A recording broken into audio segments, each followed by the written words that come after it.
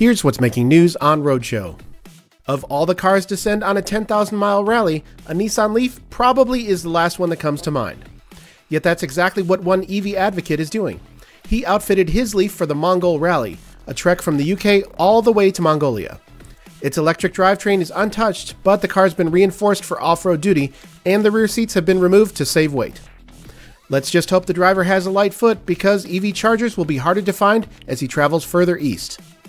It's almost time for a renewed competitor to enter the minivan segment.